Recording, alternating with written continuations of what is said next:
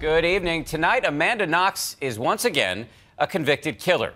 It's the latest twist in a six and a half year saga that has transfixed people on two continents. Nearly 28 months after Knox, a college student from Seattle, was acquitted of killing her roommate during a study abroad program in Italy, today an appeals court in that country ruled that she is in fact guilty and belongs back in prison. So, what happens next? Here's ABC's Neal Karlinsky. Amanda Knox, 24-year-old Seattle student. Amanda! In a case with more twists than a Hollywood movie, an Italian court has once again found Amanda Knox guilty. Guilty of the murder of British roommate Meredith Kercher in 2007. This time it was an appeals court in Florence that, after 12 hours of deliberations, handed down the verdict. 28 years and 6 months for Knox and 25 years for her former boyfriend, Raffaele Sollecito. Neither of them were in court for the verdict. Amanda was in her hometown of Seattle, where sources tell ABC News she felt sick as the verdict was read, saying in a statement, I am frightened and saddened by this unjust verdict. Having been found innocent before, I expected better from the Italian justice system. My family and I have suffered greatly from this wrongful persecution. This has gotten out of hand. You know, Amanda's um, upset uh, we were all just shocked and I think upset, but we're all ready to fight. Within hours of the verdict, Knox's parents sat down with us near their home in Seattle. Were you expecting this? No, I wasn't expecting this. Uh, absolutely not. They got it right uh, in the in the first appeals trial, where they found her innocent and allowed us to bring her home. They've gotten it wrong, and they continue to get it wrong. In an interview by Guardian Films broadcast by the BBC tonight, she anticipated a guilty verdict.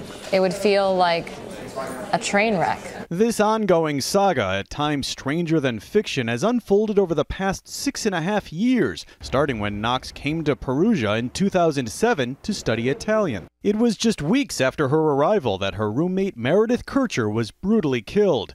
Knox and her then boyfriend of just one week, Raffaele Sollecito, were soon arrested. Overnight, Knox became a murder suspect and international media obsession, branded Foxy Knoxy. In December 2009, they were convicted of murder after a dramatic year long trial, a trial full of character accusations against Knox and shifting motives. But there were no eyewitnesses and no physical evidence, the prosecutor pinned his case on minute amounts of DNA found on a kitchen knife they claimed was the murder weapon, a fact that was essentially ruled out in the most recent case. In the end, Knox was sentenced to 26 years in prison. The verdict devastated her family. They made dozens of overseas trips and spent everything they had, more than a million dollars, fighting the charges. Anger, disbelief on how a judicial system could even come up with a verdict uh, like this. It's beyond me. This is completely unjust, and I'm in complete shock. After a thousand hours in court, 48 months locked in prison, Knox pleaded with the court in a last ditch appeal. I'm paying with my life for something I haven't done, she said. I am not what they say I am. In a stunning move, the appeals court agreed, citing shoddy police work and a lack of forensic evidence, and throwing out her conviction in an emotionally overwhelming verdict. Knox was released from prison, her nightmare seemingly over. She flew back home to Seattle. What's important for me to say is just thank you to everyone who's believed in me she signed a $4 million book deal and told her story to Diane Sawyer. To get to it, did you kill Meredith Kercher? No. Were you there that night? No. Do you know anything you have not told police that you have not said in this book? Do you know anything? No. I don't. I wasn't there. But just as Knox was beginning her new life again, Italy's highest court overturned her acquittal last year. She couldn't believe it. Um, I'm going to keep fighting this. I'm going to keep fighting this, and I'm not going to stop fighting this. That's all. The truth will come out, and that's all. In fact, one truth that is known is that this man, local drifter Rudy Guede, sits in an Italian jail convicted of the murder of Meredith Kercher. He's the killer. He was convicted of the crime, and sentenced to 16 years in prison.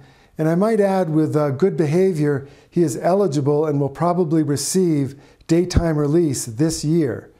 So while Amanda and Raffaele are being persecuted endlessly with these trial after trial after trial, the real killer is going to be out of jail. Author Douglas Preston has been following the case closely. They searched that crime scene for two months and they were not able to find one nanogram of Amanda Knox's DNA. Are you excited to see David? David. David, the statue of David. Oh. Long gone is the fresh faced 20 year old who originally set off for Italy with big dreams. Really looking forward to um, actually getting a place to live. Is she different? I think we're all different. Yeah, I think. Every it- single one of us. Yeah. Today, Knox lives in her own apartment and can be seen on the streets of Seattle getting coffee between creative writing classes at the University of Washington. She's scheduled to graduate this spring, but her future has once again been thrown into doubt. Italy, under an extradition agreement with the United States, has the right to ask for her to return in order to serve her prison sentence. But her American lawyer says it's too soon for that. The question of extradition is not yet in play because, under the Italian system of justice, a person is entitled to a third level of appeal. Amanda will avail herself of that appeal, and we have to await what that final uh, or next stage verdict will be. But even if the conviction is upheld, extraditions to Italy are very rare. In fact, more Italians are extradited to the United States than the other way around. But tonight, Amanda Knox's parents say they are dug in for a fight that will likely last years.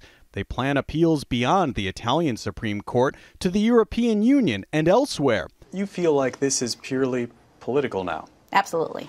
Not based on the facts, No, the evidence. no. Like I said, and even in closing arguments, they don't talk uh, just about facts of the case. If they did, they would have found both Amanda and Raffaele innocent. But you know, they talk about the need to restore the police's reputation as a reason to find people guilty. You know that that they're not looking at evidence anymore. You have gone and strayed so far away from justice that that's what we experienced today with this verdict. As for Amanda, between fighting an international legal battle to clear her name, she says she wants to write a children's book. I'm Neal Karlinsky for Nightline in Seattle.